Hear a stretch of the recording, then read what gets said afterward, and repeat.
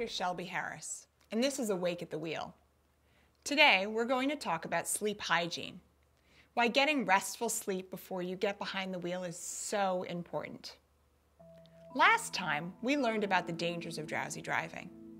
Nobody wants to wake up in the hospital, or worse, die as a result of driving while drowsy.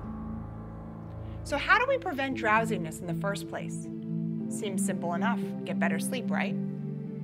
Well, not so simple, as everyone has different needs and different reasons for being drowsy. The majority of us need between seven to nine hours of sleep per night, and that's restful sleep.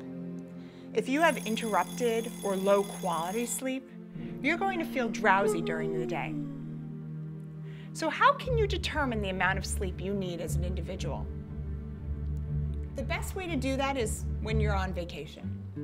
So step one is the vacation, and if you say you can't take one, you probably need one. Go to bed at your usual time, but don't set an alarm. Do this for five to six nights. By the fourth night, you'll start to see your natural sleep needs since you'll have gotten rid of any sleep deprivation you were carrying into vacation. If you tend to suffer from sleepiness on a daily basis, you want to first rule out sleep apnea or another physiological reason for your lack of restful sleep. A trip to your doctor will help to rule out or address these factors. Also, it's important to note that teens need more sleep than adults, so that late night cramming is particularly unhealthy for them, especially if they're going to drive. For many of us, getting restful sleep is simply about discipline and practicing good sleep hygiene. Once you've had your sleep need established, try to offer your body what it needs as closely as possible.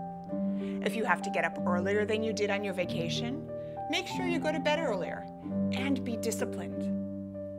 The body has a regular schedule of wakefulness and sleepiness called the circadian rhythm. This means our body is designed to sleep between midnight and 6 a.m., and even for taking a nap between 2 and 4 in the afternoon. Great. Now I can tell my boss that I have a medical need for my siesta, I mean power nap. Here are some other steps you can take to get better sleep. Try to go to sleep and get up at the same time every day. Limit your use of electronic devices after dinner time and never put your TV or ideally any electronic gadgets in the bedroom. Anything that emits blue light should be minimized in the hours before bed. Mom, You'll thank me in the morning. The reason for that is blue light inhibits the production of melatonin in your brain. Melatonin helps you fall asleep and stay asleep throughout the night. By removing the influence of electronics before sleep, your brain and body is more relaxed and ready to settle into bed. Try not to consume spicy food, alcohol, caffeine, nicotine, or other stimulants before bed.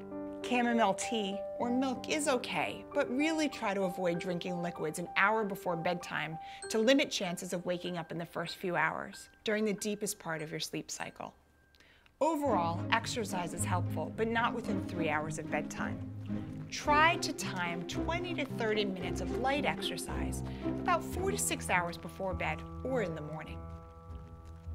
Next time, we'll talk about the various ways to prevent driving while drowsy. Thanks for watching. Now get some sleep.